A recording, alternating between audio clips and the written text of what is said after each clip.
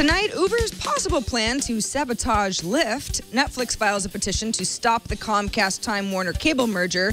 And is Apple planning a monster iPad? Tech News Tonight is next. This is Twit.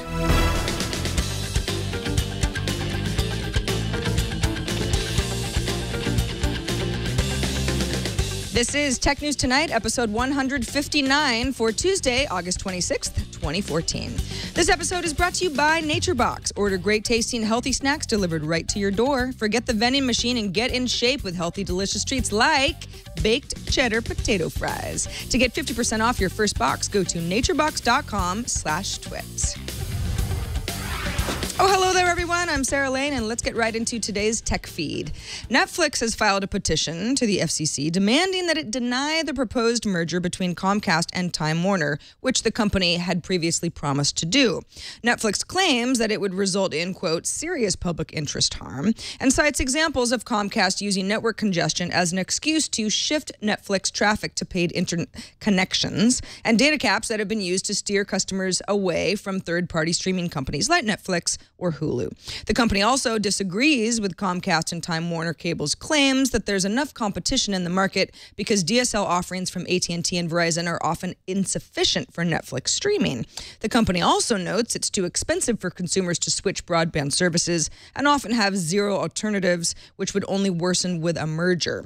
Speaking of the FCC, the commission got a new chief technology officer. Chairman Tom Wheeler announced today that University of California Irvine professor Scott Jordan is the new top tech advisor at the FCC. Jordan is focused on communications policy issues like net neutrality and fairness for different devices and pricing issues on the internet. He previously served on the FCC's advisory committee Committee for Net Neutrality Regulations, and going forward, he'll provide technical advice across the FCC and will work with outside tech experts to make sure agency officials are doing all they can to use all the best technology.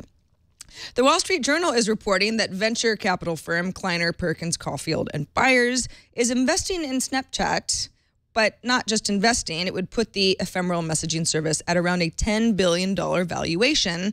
Of course, the journal is citing people familiar with the matter. Snapchat's valuation was about $2 billion last year. So, why such a jump? Well, the journal cites a source briefed on the company's metrics that Snapchat now has over 100 million monthly active users with about two thirds of those users logging into the service every day. By comparison, WhatsApp, which was acquired by Facebook earlier this year for 19 billion, announced it has over 600 million monthly active users. They announced that this week. And Twitter has a market cap of about 29 billion dollars and has 271 million monthly active users. So basically, these are crazy days. Bloomberg is reporting that Apple suppliers are getting ready to manufacture a new iPad that's bigger than the current 9.7 inch iPad Air with a screen measuring 12.9 inches. That's diagonally, citing anonymous sources. Sales of iPads, which is Apple's second biggest product by revenue behind the iPhone, have declined for two straight quarters. Apple suppliers recently started manufacturing an updated 9.7 inch screen iPad, and we're also set to enter production of a new version of the iPad mini, say people familiar with the plans. The devices are set to be available later this year in time for the holiday season. So, who wants a bigger iPad is really the question. Probably businesses. Back in July, Apple unveiled a partnership with IBM, and CEO Tim Cook said part of the deal was to sell to corporations so they could be a catalyst for future iPad growth. Speaking of iPads, Los Angeles School Superintendent John Deasy has suspended future use of a $1 billion contract with Apple that was to provide every student with an iPad after a draft report of a district technology committee, which was obtained by the LA Times, claimed the technology effort showed problems with both the process and the implementation. Disclosures were also made that Deasy and his top deputy had close ties to executives at Apple and Pearson, which is the company providing the curriculum on the devices. Yesterday, the teachers' union called for an official investigation of the original contracting process, and a source that the Times claims is close to the district said that LA Unified's inspector general is planning to conduct additional interviews. Yesterday, we talked about Amazon buying video game streaming company Twitch for a reported $970 million, which was a surprise to a lot of people after about three months of reports that Google, not Amazon, was in talks to acquire Twitch. So, what happened?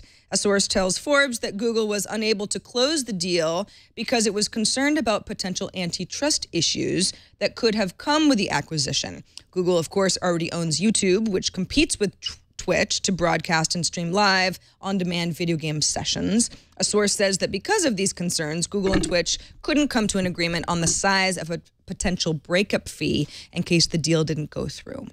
Coming up, what if Google Street View had sound, the website that lets you experience the ambient noises of the panoramas you visit. And up next, I'll chat with Casey Newton from The Verge about Uber's plan to sabotage Lyft. A little bit more information on that in just a minute. But first, let's talk about snacking. This is my favorite part of the show because I love snacking. And that's also why I love Nature Box because Nature Box snacks have zero trans fats, zero high fructose corn syrup, never anything artificial. And you know what? They taste really good. In fact, I've tried them all pretty much at this point at Twit, and I keep going back. NatureBox sends great tasting snacks right to your door with free shipping anywhere in the U.S. And you have a lot of choices. Here's how it works you click on the continue button on the website to choose between your subscription options. Then you just place your order. As a member, you select which snacks you like in your monthly box. You can select by dietary needs, also by taste, maybe sweet is your bag, or savory or spicy. And then the next time you get hungry and are ready to just eat whatever is around, you've got Nature Box. It's good for you. You can snack guilt free with honey Dijon pretzels, blueberry nom noms. I know you guys like those. I certainly do. And over 100 more healthy snacks. And you can get 50% off your first box just by going to naturebox.com slash twit. That's naturebox.com slash twit. And thanks to NatureBox for their support of tech news tonight and for keeping me full. All right, joining us now is Casey Newton, senior reporter over at The Verge. Hey, Casey. Hey, Sarah. Well, thanks so much for being here. You've had kind of a busy day. Uh, wrote an article today that's getting a lot of attention uh, about Uber's playbook for sabotaging Lyft. Now, we've talked a little bit uh, in, in recent weeks that both Uber and Lyft have accused the other company of of trying to sabotage their drivers by canceling rides and things like that, sort of in order to you know, confuse the customer. So, what is Uber's latest brand ambassadors program, Operation Slog? That's right. So we knew that Uber and Lyft were both aggressively recruiting one another's drivers. What we didn't really know was how they were doing it. So what my story outlines is one of the strategies Uber uses to recruit drivers on its platform, which has two benefits. One, it gives Uber more drivers, but two, it undermines Lyft by preventing them from getting a foothold in a new city. So, in the run up to Uber or to a Lyft's launch in New York City last month, Uber organized a street team made up of what it calls brand ambassadors, which are contractors that it hires through a third party temp agency, basically. It outfits these contractors with burner cell phones, valid credit cards, encourages them to make dummy Lyft accounts, and then they just spend all day uh, recruiting Lyfts and trying to get those drivers to come onto the Uber platform. Now, I guess you could, you know, at the very least call these tactics shady, but is anything in here illegal?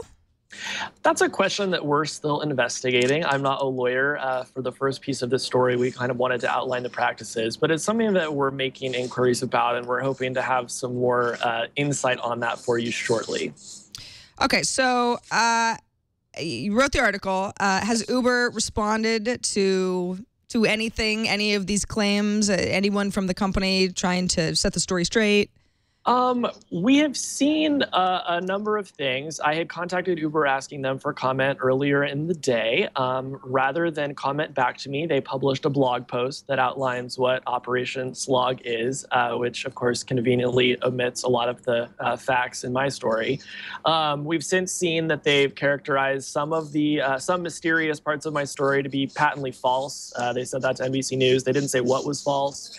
Uh, so hopefully over the next you know short period of time we'll find out what if anything Uber uh, objects to, um, but uh, certainly we we stand by our story. It's also worth checking out the uh, Twitter feed of uh, Travis Kalanick, Uber's founder and CEO. He's at Travis K on Twitter, and um, uh, upon my reading of it, there was nothing in the story that he objected to other than people's reaction to it. Uh, Mm. Basically, what he has to say is, look, uh, yeah, we recruit people. This is how you recruit people. It's no different than me picking up a phone and calling you at your office saying, come work for us. So he doesn't see anything wrong with this practice. Um, and for what, it, for what it's worth, the story you know that I wrote doesn't take a position on whether this is a good or a bad thing. We just thought it was a fascinating illustration of how cutthroat Uber is as a business and the lengths it's willing to go to to undermine its competitors. Obviously, you know, to use an industry buzzword, Uber has obviously disrupted this market, uh, maybe more so in the last few years than any other company I can think of that makes an app. What is it? What is this? Uh, what does this do to the people who are using Uber? I mean, I'm I'm a almost daily user of the Uber app. How many customers, if they know about these tactics, do you think could be turned off to the experience, or does it really matter? Um, I assume that to most people it doesn't matter. Uh, my Twitter feed has been lit up today with people saying that uh, that they're disgusted by these tactics, that they're going to boycott Uber, that they're switching to Lyft. So uh, I assume that we are going to see, you know, a, a small minority of people who want to switch over um, because of tactics like this. Um, and I do think that there is a danger, as with any company, that if you're known as um, somebody who engages in the shadiest of tactics in order to get ahead, then it could turn people off and drive people to your competitors. But you know, but but I know so many people who say, you know what? I don't trust anyone at Uber. It seems like a really shady company, but man, it's an incredible product, and I couldn't live without it. And right now, Uber seems to be totally comfortable uh, with that as its reputation. Casey Newton is a senior reporter over at The Verge. Thanks so much for joining us. Good to My see pleasure. you. And uh, let folks know where they can keep up with more of your work. That's right. Uh, follow me on Twitter at Casey Newton and make uh, TheVerge.com your homepage and refresh it multiple times every day. Excellent. Thanks, Casey. Thanks, guys. All right, finally, get ready to be transported to a faraway place. Well, maybe it doesn't have to be that far away, but let's get crazy with the Google Street View, but not actually with Google Street View that you're using your eyes for. You're actually using your ears. This is really cool. It's called Sounds of Street View, and it's a new tool for the third party company for your browser that adds ambient site specific noise to a few of the panoramic photos that are already on Google Maps. Now, it's pretty limited right now. You've got sounds recorded at the Place du Palais in Avignon, France, Hapuna Beach in Hawaii, one of the islands anyway, Balboa Park in San Diego, California. So there's a lot of room for growth here. And the noises are also looping clips. So it's not exactly like being there but it's certainly a start. I really like where they're going with this. The company behind the project is Italian hearing aid seller Amplifon, which has opened its code up on GitHub to allow other developers to also create sound maps for other places around the world.